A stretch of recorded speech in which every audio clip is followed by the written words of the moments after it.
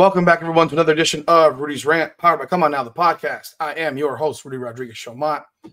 I thought my night was done, but lo and behold, it's not.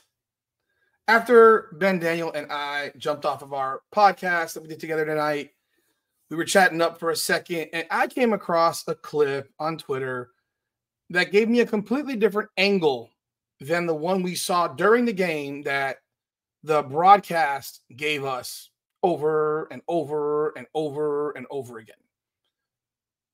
The angle of DiJonai Carrington stabbing Caitlin Clark in the right eye. Understand something. I gave DiJonai Carrington the benefit of the doubt. I said on the podcast tonight live, there's no way that she could have intentionally jabbed her in the eye. And in a, in a, in a sense, I said, well, it's DiJonai Carrington, and she does have a major dislike for Caitlin Clark or hatred for Caitlin Clark. And she has done dirty types of things to Caitlin Clark all season when they've played and said all kinds of dirty shit about Caitlin Clark. But there's no way you're jabbing someone in the eye. and then I saw this.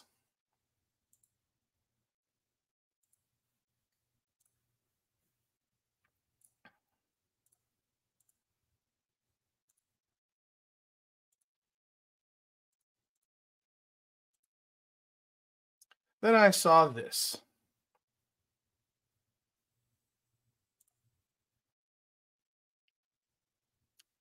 Now, I have played basketball. I played ball for a number of years when I was a teenager. I played on basketball teams. I coached basketball. I have watched thousands of NBA basketball games. I've watched probably a few hundred WNBA games in my lifetime. I've watched every single game that Caitlin Clark has played. I've watched hundreds and hundreds of women's college basketball games. I've watched high school basketball games. There is absolutely nothing that is natural about this motion of DiJonai Carrington. Every time you watch an NBA game now, you people talk about, well, he went up for a shot. Was that a natural shot? And you see guys get kicked in the junk. And they'll say, oh, there's no way that his leg would come up, even though he's fading away and your legs will come up because you're naturally fading away. So your legs are going to lift. Just the way it goes. now, for guys like Draymond Green, it doesn't seem too natural because he seems to always go with his pickle punt kick to the to the nuts. And it seems very unnatural, which is why he gets in trouble for it because it's not natural with many of the things that he does. This has to be the dirtiest thing I've ever seen in basketball. I want you to watch this. When people contest a pass, a shot, this was a pass. You come up with your hand out. Your hand is out. It's not like this, it's out. And that worst case scenario, if you come down, you will come down and you might hit the person across the face like this. You might hit him in the chin. But in no way would your hand do this into an eye socket. I take back everything I said, giving this woman the benefit of the doubt. She is a dirtbag. DiJonai Carrington is an absolute dirtbag. She should be suspended. She should have been ejected from this game, in which this wasn't even called a foul. She should not see the court for the rest of this series at a bare minimum. This is an example of trying to take someone out and doing it in a way that could end her career. You're talking about an eye gouge to, I mean, this is an eye gouge. This isn't an inadvertent smackdown. This is your hand went up and then it completely turned angles. Like, look at this shit. This is nuts. Like, there's nothing natural about this. Her hand turns down from like this to like this. Caitlin Clark would be in her right mind to go to the police and file charges, press charges for battery. Now, it would probably never happen, never pop off and never go anywhere. But remember, there have been hockey players who have gone, who've been arrested for shit they've done on the ice that was considered to be beyond the scope of play. And this is a league in which people fight, have fist fights. This is a league in which people have fist fights. And fist fights never see anyone get arrested on, on, on, on hockey ice. But there have been plays in which guys have been slashed on the back of their legs. And I remember one specifically. Let me look him up real quick. Let me look this up real so you had Marty McSorley, who took his stick from behind, I think it was Donald Brashear, took his stick and cracked him across the side of the head with his stick. And Brashear falls backward, hits the ice, and smashes his head on the ice. Basically, got knocked out. That's not a hockey play. That's not even remotely hockey. That's a dirt bag if you did that in the street, you're going to go to jail. And that's what happened to Marty McSorley. He got arrested. Okay? He got arrested for that. Now, there was another one that happened. So before I jump to the next one, Marty McSorley ended up uh, being found guilty and getting 18 months probation. Then there was another one with Todd Bertuzzi, who sucker punched Steve Moore from behind, which basically knocked him out. Moore goes face first into the ice and has multiple vertebrae break in his neck. Moore never played hockey again. Bertuzzi was charged with uh, with criminal assault. He didn't spend any time in prison, but he did plea out. And the reality is, these types of things are beyond the scope of sport. These are dirtbag plays. And this is a dirtbag play. And this just goes right into the type of character that DiJonai Carrington is. She has proven this to be her who she is. I gave her the benefit of the doubt, and I feel foolish now because I only saw the other angle. I'm like, there's no possible way you're trying to jab someone in the eye. I love MMA. And I have not seen blatant jabs to the eye like this. I watched Stipe Miocic jab Daniel Cormier in the eye where he couldn't see for the duration of the fight. His eye was purple. Caitlin Clark has a black eye now, and all she did at the at the press conference post game was not say anything that was anything crazy. She gave her the she said it didn't affect me. I I just was off. I missed shots. And she, but she could have gone out there and really let DiJonai Carrington people know that crap was on purpose. She's trying to take me out.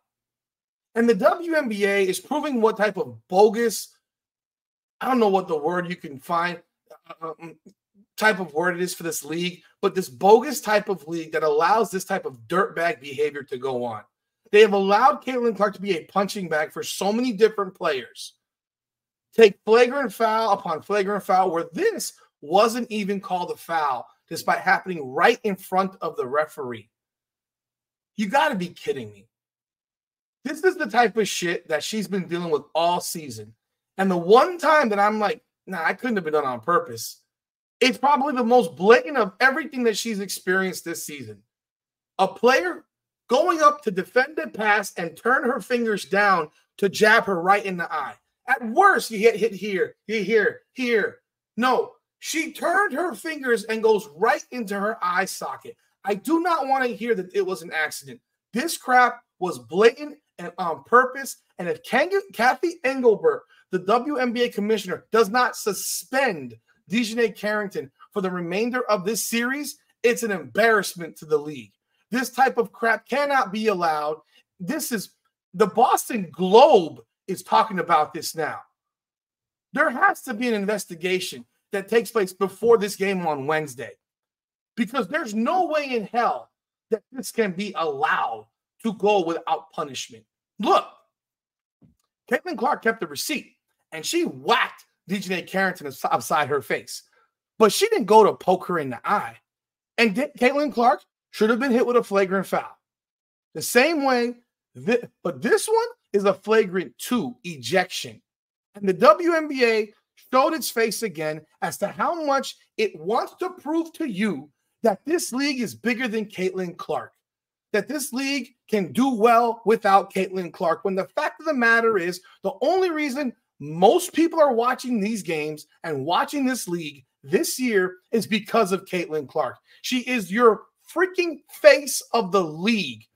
1.2 million average television viewers for Caitlin Clark games. The rest of the league, under 400,000. Do not tell me that she is not the difference in your sorry ass league. Last year, the league averaged 505,000 fans on average watching games. If you remove the Caitlin Clark games, their number went backward, not upward. I'm sorry, downward, not upward. So if the remaining remaining games were 394,000, which is what I have read, what you're telling me is Caitlin Clark is why people give a shit about your league. And Cathy Engelbert needs to deal with this with an iron fist. Otherwise, this is just a carte blanche to continue to attack and try to maul Caitlin Clark with dirtbag plays like this. And the biggest issue that you're going to have now is that Caitlin Clark has a teammate who is banging this broad. Yeah, banging.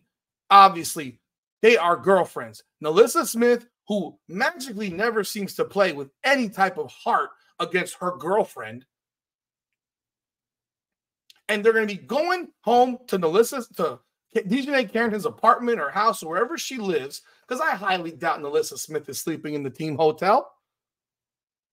She's sleeping in bed with this girl, or this girl's coming to her room in her hotel room, one or the other, but you know they're not sleeping apart. And they're going to be chit chatting, yakking, giggling about how DJ Carrington eye gouged her teammate. And NaLyssa Smith is going to sit there and say nothing because she doesn't care about it. Because she can't stand playing on this team anyhow, as has been proven over and over and over again. This is a disgrace. This is an absolute shit show that we got going on here in the WNBA. And they purposefully did not show this angle. I don't know where this angle came from, but they did not show this angle on the broadcast. If they had shown this angle, do you understand the uproar that would have been going on on the internet during the game? I didn't see this thing until 11 o'clock at night. It's now 12:45 a.m. Monday morning. I didn't see it until 11 o'clock at night, almost 11 at night, about 10:45, 10:30, 10:45, something like that. This is this is ridiculous. This is ridiculous. There is nothing natural about this motion. Sorry, no, it, there's nothing natural about. This was deliberate. This was on purpose. And she got away with it in the game. The question is now will she get away with it for the remainder of the series, or will she be suspended as she rightfully should? Because guess what? DJ Carrington matters to the Connecticut Sun. If DJ Carrington can't play, they're not going to win this series. Caitlin Clark had a horrendous shooting night tonight today. Terrible shooting night, shooting shooting from the from the field. The team played poorly across the board. The coaching awful as usual. But when you remove a defensive player like this from your lineup who can give you 10 to 15 points a game on top of that, that's a big, big loss. And I know that they put DeWanna Bonner on Caitlin Clark a lot today, but mm-mm. I don't think DeWanna Bonner can get away with guarding Caitlin Clark and Caitlin Clark just missing wide open threes like she did today. because Caitlin Clark just missed a lot of open looks. Open, open, open looks. She said so in her press conference. But this is this is just this is dirtbag stuff, man. DiJonai Carrington should be ashamed of yourself, but you're not because you don't care. You have no respect, and you're a dirtbag. That's what it is. You are a dirty player, and you are solidif- you've you've solidified yourself as the absolute dirtiest player in the league. And I think Caitlin Clark should press charges. I don't think it'll go anywhere, but I think she should absolutely press charges because this is not a basketball play. This isn't remotely close to a basketball play. This could end your career. She's lucky that she doesn't have a torn retina, cornea, lens, whatever that prevents her from seeing. Can you imagine if she be if she's knocked out of the game from an eye gouge like this and has a torn something in her eye that requires surgery and she's unable to play the remainder of the series? First of all, Indiana would lose immediately. They'd have no chance in hell to win. But criminal. That's criminal. This is a criminal. This is this is a criminal offense. This is a criminal offense. Watch it over and over and over. Look at that. You like you can't sit here and tell me there's anything going. God, I, I, I just can't. I'm flabbergasted that they didn't have this this this uh vantage point replay during the game. But of course, it's convenient because this league is going out of its way to try to show you that you care about the league regardless of Caitlin Clark when the numbers tell you that's just not the case. They call them, they, I mean, they call that freaking ridiculous foul in the first 48 seconds on Aliyah Boston. And they got to burn a freaking challenge in the first 48 seconds. This happened, I think, within two minutes of that. Man, Cathy Engelbert's about to show us whether or not she has the stones to be a commissioner or not, because there's no way in hell that DiJonai Carrington should be allowed on that court on Wednesday. In fact, I tell you, she should be suspended for the bare minimum the remainder of this series. The remainder of the series. So if it ends on Wednesday, it's Wednesday. If it ends on Friday or whatever next game is, it's Friday. Win or lose. But this outrageous. Cathy Engelbert needs to lay a hammer down because I gave it. I gave her the, the benefit of the doubt. That's a flagrant two. That's beyond a flagrant two. Caitlin Clark later in the game, she committed a flagrant one. They didn't call it. Probably because they were they saw replays of this and like, yeah, no, we can't do that. They probably saw that crap at halftime. Because I think that foul that she committed that wasn't called was in, in the second half. But that's all I got. I'm disgusted. This is gross. I, I mean, this is like Santino Marella in WWE when he used to do the Cobra. Like, I, I mean, it, this is this is ridiculous. I want you to keep watching this because there's nothing about this that's natural. And she didn't hold back on it, man. She went bah right in her eye. She didn't. There was no like, oh shit moment. She didn't care. She couldn't care less because that's who DiJonai Carrington is a dirtbag. That's all I got. Leave your thoughts and comments. Sad. This is what the WNBA is. This sport is a joke. This league is a joke. They don't care about growth. They want to prove to you that one player can't make their league. And right now, that player is making their league. And if they are eliminated, you're going to see what the, the viewership goes down to the remainder of the playoffs for the WNBA. I might watch a game here and there, but I'm not going to have it on my calendar or care. I'll get back to baseball because the playoffs for baseball are starting. Football's going on. I got a lot of other things to do. I don't have interest in this type of garbage. This happened to LeBron James, Michael Jordan, first of all, there'd be a fist fight on the court. There'd be a fist fight on the court. You couldn't get away with this. And then the player who did it would be suspended. This is not a play. This isn't even a this isn't even a dirty foul. This is a criminal act. You can debate me on that all day long. This is a criminal act. Let me know your thoughts in the comments. Love y'all. See y'all soon. Come on now.